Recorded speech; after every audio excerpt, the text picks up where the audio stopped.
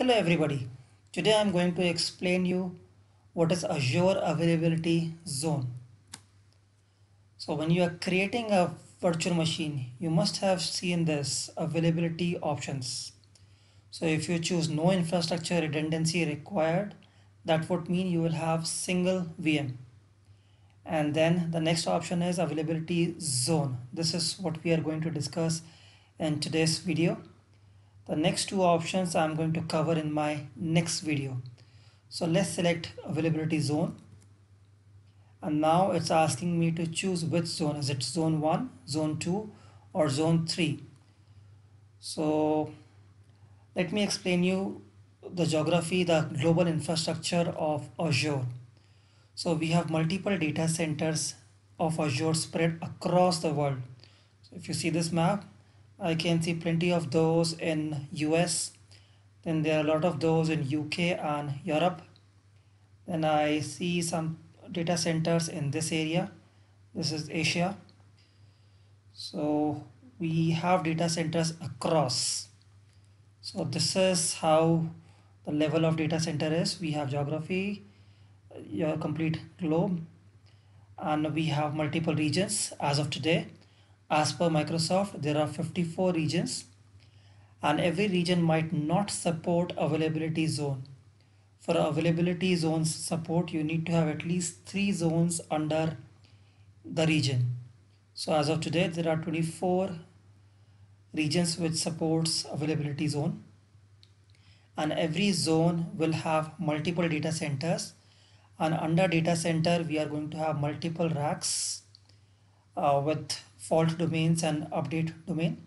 So this is the level geography, then regions, then zones, then data centers, then the server racks.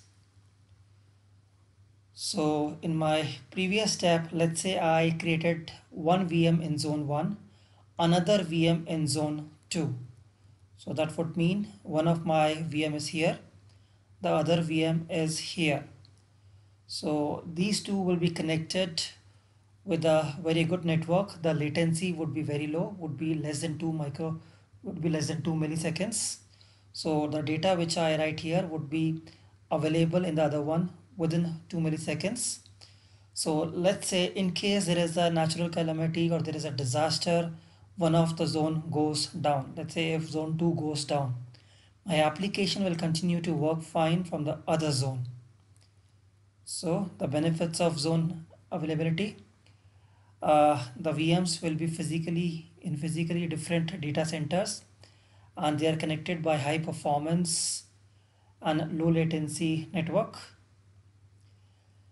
And in one of my earlier video, I explained you Azure storage redundancy. The link to that video I'll provide on the top left of this video. You can click on that and you can go through that video. So a quick recap. In case of LRS, the data is replicated three times in the same data center. In case of ZRS, your data is written three times in three different uh, zones. In case of geo redundancy, your data is written across two regions. So LRS works at data center level.